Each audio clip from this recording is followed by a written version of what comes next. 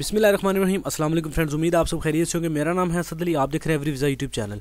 Friends, जैसा कि thumbnail देख के आपको पता चल ही गया हो कि आज की वीडियो क्रोशिया के वर्क परमिट से रिलेटेड है। एक बहुत ही ज़बरदस्त न्यूज़ हमसे शेयर की है रिटर्स की वेबसाइट ने और मैं आपको गारंटी देता हूँ, अगर आप ये वीडियो को गौर से देखते हैं और वीडियो के मुताबिक सारा प्रोसेस करते हैं तो नाइन्टी आपको वीज़ा मिल सकता है। फ्रेंड्स, सबसे पहले बात करें तो क्रोशिया के जो लेबर मिनिस्टर हैं जोसेफ एलेड्रोविस इन्होंने अनाउंस किया है कि जो वर्क परमिट्स का कोटा था, पच्चीस का उनको ख़त्म करके अठहत्तर हज़ार चार सौ सत्तर का वर्क परमिट्स का कोटा कर दिया गया है। ये इतना बढ़ने की वजह यह है कि जो नॉन यूरोपियन ये कोटा सिर्फ़ नॉन यूरोपियंस के लिए ही है। इसकी बड़ी वजह यह है, जैसे कि यहाँ पे लिखा भी गया है कि many Croatians have left the country to work in more affluent European countries since Croatia. तो मतलब क्रोशिया से जो, क्रोशिया के ऑफिशियल नेशनल्स हैं, वो ज़्यादा तरजीह देते हैं अदर यूरोपियन कंट्रीज़ में काम करने को, जिसकी वजह से क्रोशिया में काफ़ी लेबर शॉर्टेज है, जिसकी कभी को पूरा करने के लिए ये कोटे को बढ़ाया गया है। मतलब पच्चीस हज़ार से सीधा ही अठहत्तर हज़ार चार सौ सत्तर पे कर दिया गया है। इससे बड़ी न्यूज़ ये है कि ये जो बिगेस्ट नंबर ऑफ़ परमिट्स है मतलब ये ज़्यादा जो कोटा है, इसमें से तीस हज़ार वर्क परमिट्स जो है, वो टूरिज़्म और कंस्ट्रक्शन फ़ील्ड में दिए जाएँगे। जैसे यहाँ पर अनाउंस भी किया गया है। डिस्क्रिप्शन में मैं आपको इस वेबसाइट का लिंक भी दे दूँगा, आप खुद भी तमाम तर तफसीत पढ़ सकते हैं। ये अनाउंसमेंट लेबर मिनिस्टर जो हैं जोसेफ एलाड रोविस इन्होंने ये शेयर की कि पच्चीस हज़ार का कोटा अठहत्तर हज़ार में किया गया है और ये यहाँ पे ये भी अनाउंस किया गया है कि ये कोटा जो है फॉर नॉन यूरोपियन फॉरनर्स के लिए है और इसको एक्सटेंड किया गया है 2020 तक। इसके अलावा सैलरीज की बात करें तो यहाँ पे मंथली सैलरी जो है वो नाइन नाइन फाइव थ्री यानी कि नौ सौ तिरपन डॉलर यूएस डॉलर जो है, साढ़े नौ यूएस डॉलर जो है वो रखी गई है। इसके अलावा फ्रेंड जो जॉबलेस मतलब है जॉबलेस के चांस है वो सेवन पॉइंट टू परसेंट है कि जॉबलेस जॉब आपको नहीं मिलती, इसके seven point two percent chance है ninety three point eight percent chance है कि आपको यहाँ पे जॉब मिलेगी। मेरे फ्रेंड्स ये तो बात थी कि क्रोशिया ने इतनी बड़ी अनाउंसमेंट की है और बड़ी ज़बरदस्त की है और हंड्रेड परसेंट वर्क परमिट मिलता भी है, लेकिन मिलेगा कैसे जॉब आप कैसे फाइंड करेंगे, कैसे अप्लाई करेंगे, क्या सारा प्रोसीजर होगा, वो आगे मैं जाके आपको सारा समझाता हूँ। इसके अलावा इस वेबसाइट का डिस्क्रिप्शन में लिंक भी आपको मिल जाएगा, आप तमाम तमाम तर तफसीत खुद भी पढ़ सकते हैं। अप्लाई करने वाले प्रोसेस की जानी बढ़ने से पहले एक छोटी सी रिक्वेस्ट है कि अगर आपने एवरी वीज़ा यूट्यूब चैनल को सब्सक्राइब नहीं किया तो सब्सक्राइब कर ले, क्योंकि आपको इस चैनल पर यूरोप एशिया के कंट्री से रिलेटेड इन्फॉर्मेशन और जॉब्स मिलती रहती हैं। साथ में बेल आइकन को प्रेस कर ले ताकि नई आने वाली इन्फॉर्मेशन और जॉब आप मिस ना कर पाए। चलिए फ्रेंड्स करते हैं वीडियो को शुरू।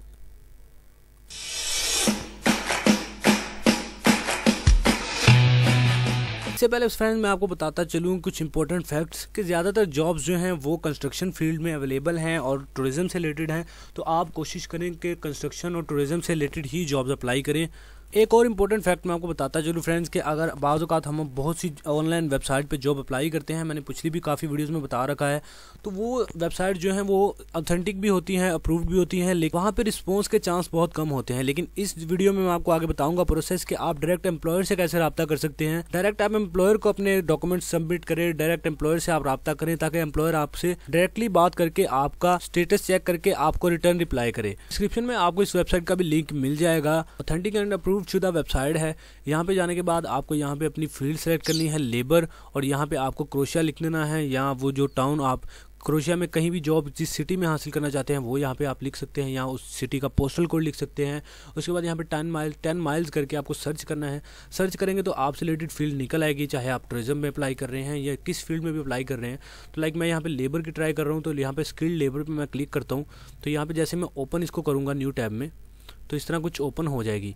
यहाँ पे इसकी तमाम तर तफसीलात यहाँ पे मौजूद हैं कि ये कितना मुझे सैलरी मिलेगी पर हावर के हिसाब से और फोर्टीन डेज़ अगो ये चौदह दिन पहले ये जॉब अवेलेबल हुई है इस यहाँ पे। और इसके बारे में तमाम डिस्क्रिप्शन यहाँ पे इसकी मौजूद है। अप्लाई करने के लिए सिंपली मैं अप्लाई पर क्लिक करूँगा। तो जैसे मैं अप्लाई पे क्लिक करता हूँ तो यहाँ से मुझे, मुझसे पूछा जा रहा है कि आप अप्लाई विदाउट सी करना चाहते हैं विद सी करना चाहते हैं। तो यहाँ पे अगर मैं विद सी करना चाहता हूँ तो जैसे मैं अप्लाई विद सीवी पे करूँगा तो यहाँ में मुझसे अपलोड सीवी मांग रहा है। तो मुझे यहाँ पे अपनी सीवी अपलोड करनी है, जिसमें मैंने प्रोफेशनल तरीके से जिसको बनाया होगा, उसमें तमाम एक्सपीरियंस ऐड किया होगा और एक बिल्कुल प्रोफेशनल तरीके से सीवी बनाई होगी, जो कि अट्रैक्टिव होगी। तो जैसे ही आप यहाँ पे सीवी अपलोड करेंगे, उसके बाद आपकी डिटेल और मांगी जाएगी। आपकी पर्सनल डिटेल इनपुट करने के बाद आपको जो एप्लीकेशन है, वो सबमिट कर दी जाएगी। और अगर आपकी सीवी में अट्रैक्ट हुई और आपको एलिजिबल समझा गया तो आपसे कॉन्टैक्ट कर लिया जाएगा, आपके ई या जो आपने पर्सनल डिटेल में अपना कॉन्टैक्ट नंबर दिया होगा। जैसे ही आप इस वेबसाइट को खोलेंगे तो सबसे पहले पहले आपको ये काम करना है कि यहाँ से आपके आपके जो अकाउंट एनेबल्ड हैं आपके ब्राउज़र में, उससे आपसे पूछा जाएगा कि आप किस किस ईमेल के ज़रिए आप यहाँ पे इंटर होना चाहते हैं। तो आपको वो ईमेल जो है वो कर लेनी है। सिलेक्ट अगर आप नहीं करेंगे तो आपका अप्लाई वाला ऑप्शन नहीं आएगा। तो सबसे पहले आपको ईमेल ऐड करनी है इस वेबसाइट में।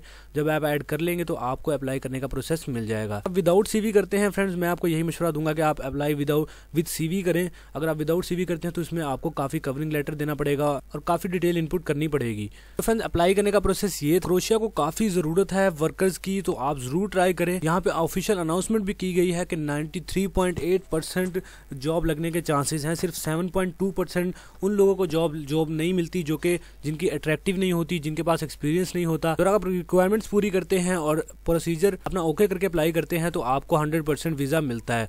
तो क्रोशिया की इस कमी से, लेबर शॉर्टेज की कमी से लाजमी फ़ायदा उठाएँ और ज़रूर अप्लाई करें। उम्मीद आपको आज की वीडियो अच्छी लगी होगी। वीडियो अच्छी लगी है तो लाइक कर दें और कमेंट करके चैनल को सब्सक्राइब कर दें, क्योंकि आने वाली वक्त में आपको इस चैनल पर यूरोप एशिया कंट्री से रिलेटेड इन्फॉर्मेशन जॉब्स मिलती रहेंगी। इसके अलावा इस वीडियो से रिलेटेड आपका कोई भी क्वेश्चन है तो आप कमेंट सेक्शन में मुझे बता सकते हैं, मैं आपको रिप्लाई ज़रूर करता हूँ। इसके अलावा कोई भी क्वेश्चन आंसर आप हमसे करना चाहते हैं तो डिस्क्रिप्शन में आपको फेसबुक आईडी का लिंक भी मिल जाएगा एवरी वीज़ा की का, वहाँ पर भी आप हमसे रब्ता कर सकते हैं। इसके लिए यही था चैनल को सब्सक्राइब करके बेल आइकन को प्रेस कर लें ताकि नई आने वाली इन्फॉर्मेशन और जॉब आप मिस ना कर पाएँ।